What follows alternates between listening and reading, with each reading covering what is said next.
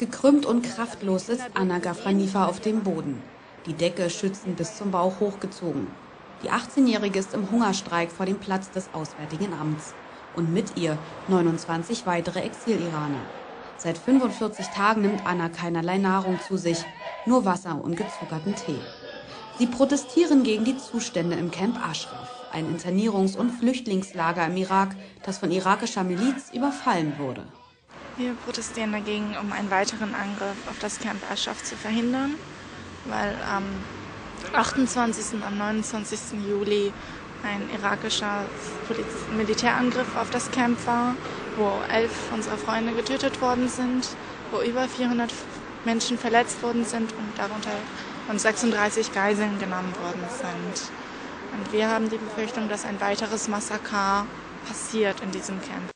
Der körperliche Verfall nach sechs Wochen ohne Essen ist deutlich zu sehen. Aber aufgeben will hier niemand. Anna hat Angst um ihre Tante, zu der sie seit Januar keinen Kontakt mehr hat. So wie sie ist jeder hier in Sorge, denn mindestens ein Familienmitglied ist in Araf. Wo ich die Bilder gesehen habe, ich habe ich bin in Tränen ausgebrochen. Ich habe mich zusammengekrampft und nur geweint, aber das kann man nicht in Worte fassen, was man fühlt.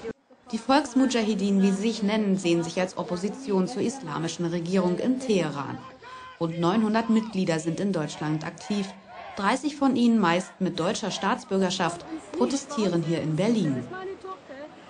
Wir fordern als allererstes, dass die UN dort eine Delegation hinschickt und die Sicherheit dieses Campes übernimmt und garantiert auch vor allem für diese Menschen, für diese 3500 Bewohner dort.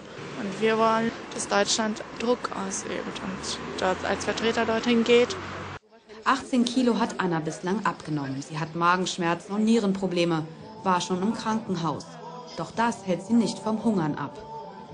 Ich persönlich habe vor, so lange weiterzumachen, äh, beizubehalten, diesen Hungerstreik, bis wir, also bis deren Forderungen erfolgt sind, bis deren Garantiesicherheit da ist und dass keine Gefahr mehr für diese Bewohner Aschafs besteht.